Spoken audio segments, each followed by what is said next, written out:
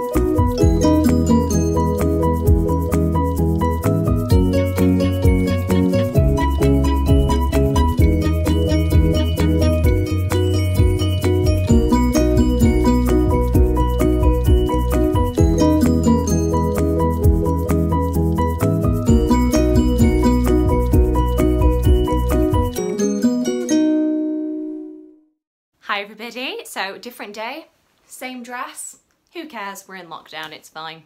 So I didn't check in yesterday to let you know my progress, um, but as you probably will be able to gather from the clips from last night, I did manage to finish Middlemarch by George Eliot. Yay! I'm really glad I have managed to get this done in July. I know Claire Fenby did say that she was extending Middlemarch along uh, to the end of August. So if you are interested in picking up Middlemarch and joining in in the read along, then you've still got time. There's still plenty of time to read this.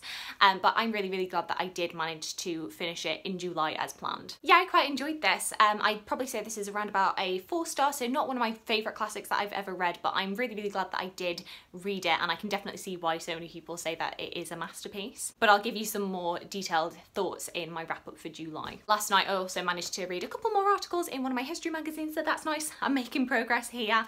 Um, maybe, possibly, try and see if I can finish this one today. This is the July issue of BBC History. Not that you can get this, I don't think, but uh, hey. but I think the real goal for today will be to try and get a little bit of a headway in a fine balance. Today's gonna be quite a quiet day. I'm actually on my own um, at the moment. So, you know, do a bit of reading, do a bit of uh, job applying, yay. And uh, because we're at home on our own, what else are you gonna do but have a bit of a musical theatre Disney medley sing-along? What else can you do, I ask you?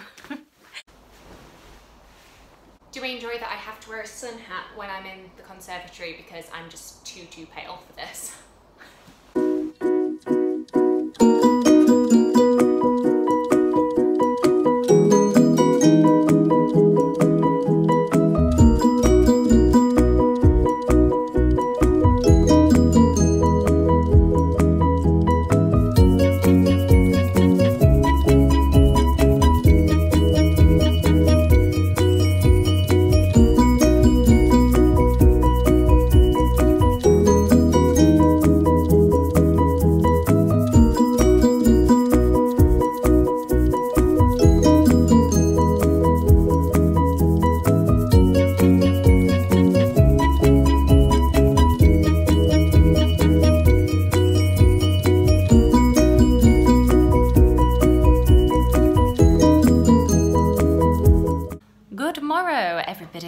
Actually the next day. I didn't really want to bore you um, with just lots and lots of different clips of me reading or not reading, as the case seems to be.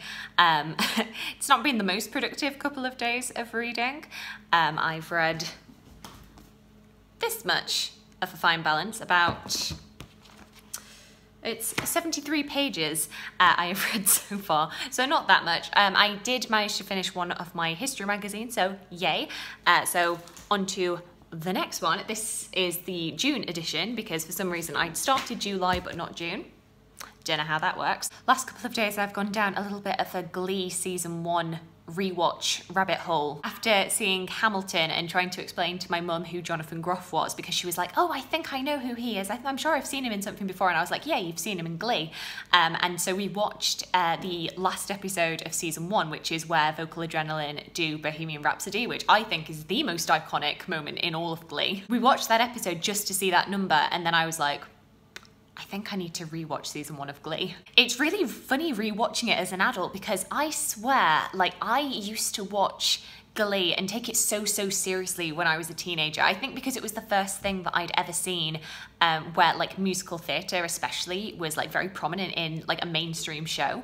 But I took it so seriously. I watched it so straight. Whereas I'm watching it now as an adult and I'm recognizing like how much of it is a parody. Like I don't think I recognized that it was a parody of high school rather than like being very, very serious. I took it so seriously. There's nothing ironic about show choir. I also spent a little bit of time this afternoon rewatching uh, the Felicity Jones uh, Northanger Abbey, which is just such a cute little adaptation of that film. So yeah, that's where my brain has been rather than reading, but it, it's fine, it's fine. Uh, we're only on Wednesday, I've got every faith that I can read this. A.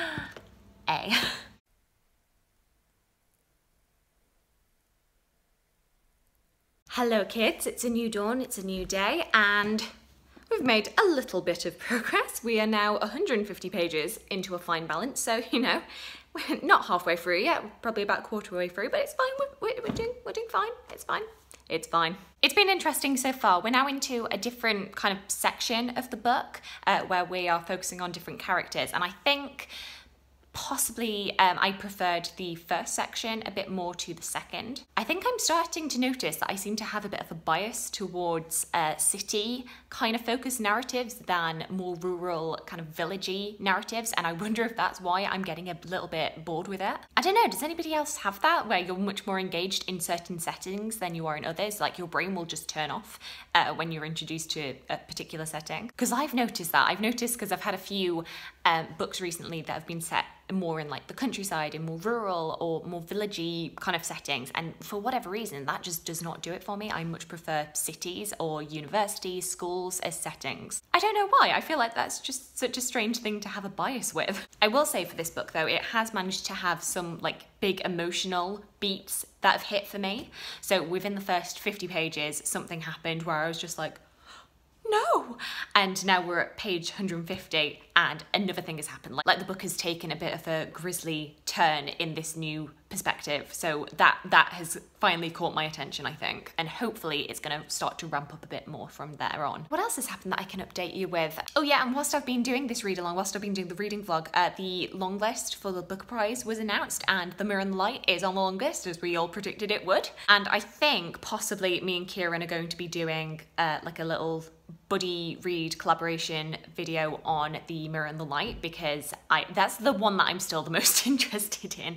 I've only read one of a book on this long list, but that's still the one that I'm like, it's my winner, it's my winner, which is so biased and silly, but meh. But I had been kind of looking for any excuse to reread that book, so I'm quite happy to do that. I always feel like with the Booker Prize, I only start to get excited once the shortlist is announced. Once I'm absolutely scandalised that a book that I thought was going to be on the list was not on the list. I don't know, at the moment, none of the other books are really grabbing me, but I, I don't know, that's that. I think it's just because I am very, very biased towards Hilary Mantel right now. I think as I see more and more people reading them and talking about them, reviewing them, I'll my interest will probably start to pick up, and as soon as we get to the shortlist, I think I'll get more intrigued. I think it's when you've got like 12 or 13 books on a list, I'm just initially like, oh, that's a lot. And especially because it's literary fiction, which is not my normal genre.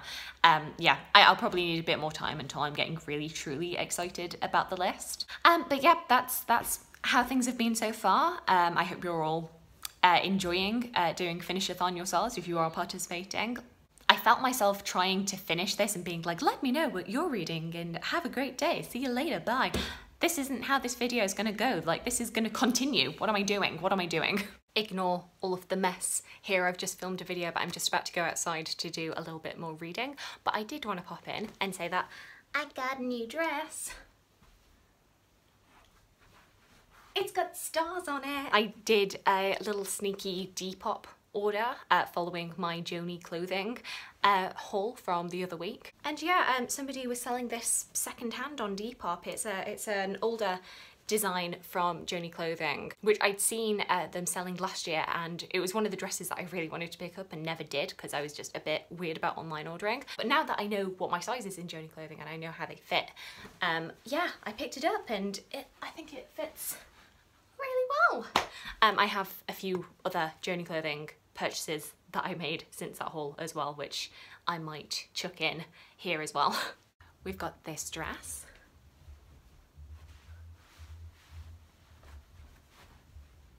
Which I think looks ever so slightly nursey, but it's fine, it's fine. Um, it was like £12 in the sale, so I'm quite pleased with this. This one has bikes on it. Yay. And then this jumper, which I'm not going to try on now because it is much, much too hot today for that. Moral of the story is I need to stop buying clothes. What calm, relaxing sounds to be reading to on a nice summer day.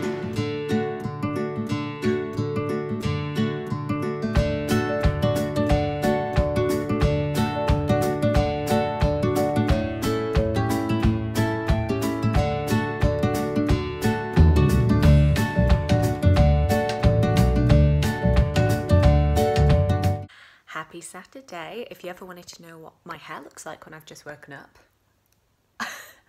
this is it. So we've got two days left of the finish-a-thon and I've still got more than half of a fine balance still to read. So that's really going to be my uh, task for this weekend um, and also to try and get one more history magazine done.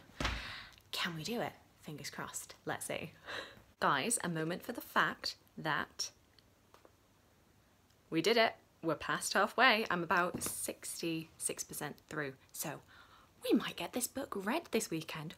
Woo! It's very, very warm today. It doesn't really look it from outside. It looks quite cloudy, but it's warm. And all I really want to do is read. So I've got the perfect excuse to keep going.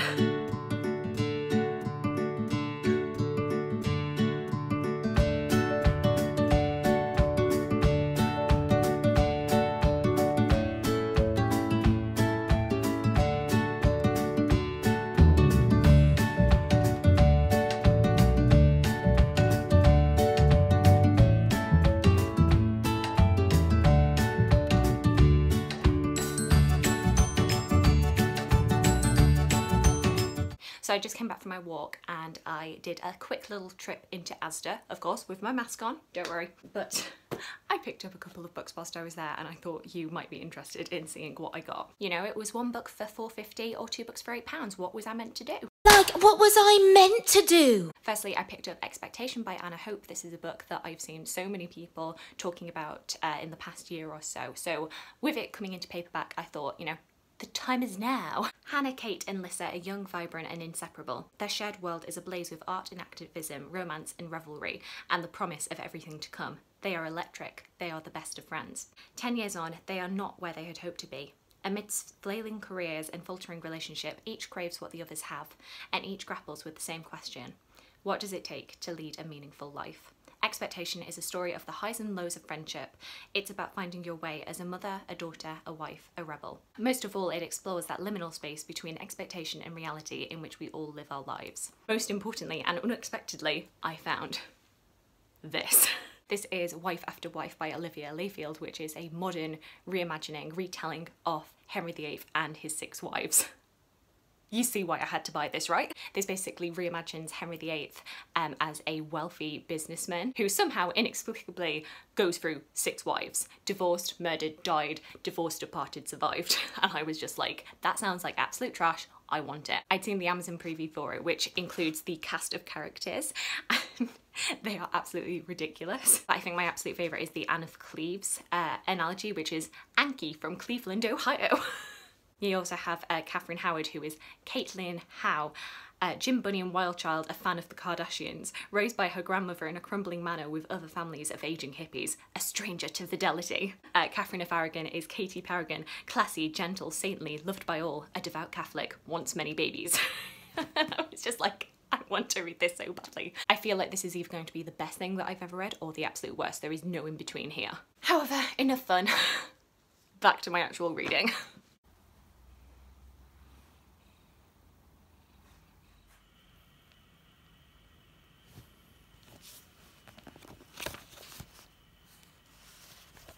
Happy last day of the readathon, everybody. I hope you've all been making good progress.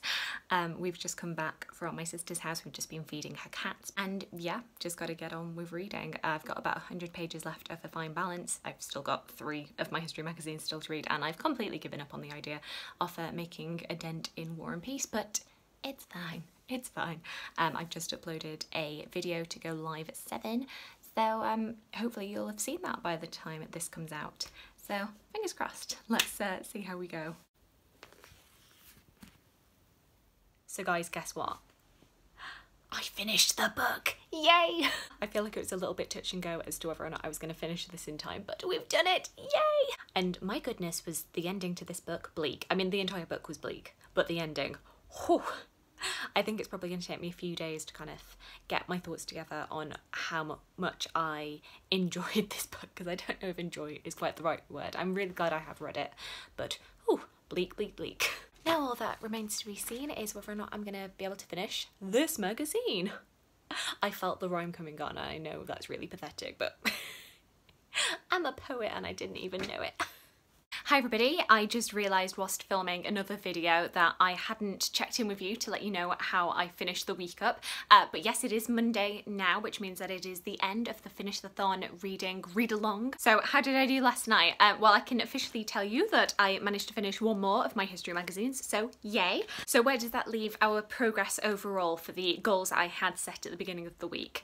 Well, I finished Middlemarch by George Eliot. As I said, there was only about 80 pages left, so that wasn't too hard to do. I managed to complete the whole of A Fine Balance by Rohinton Mistry, which yay, because this was quite a chunky book. And I managed to read two of the four history magazines that I had set myself to read. So three goals basically were accomplished there. I didn't manage to read the other two magazines that I had set for myself, but it's fine. I've at least made progress and I've made a dent in these magazines. Um, and I didn't manage to make a very good start on War and Peace. I'm where I was basically at the beginning of last week, which is 20 pages in. Um, but It's fine. I'm just really quite impressed that I was able to read A Fine Balance this week, so I'm, I'm good, I'm cool. But yeah, that is the end of the reading vlog for this week. I'm really pleased with what I was able to do, even though I didn't manage to hit all of my goals. Uh, do let me know if you were participating in Finish-a-thon. Did you manage to get through all of your goals? Just let me know, I'd love to hear from you. I hope you're all having a fantastic, fantastic day and look forward to talking to you again soon. Thanks, bye!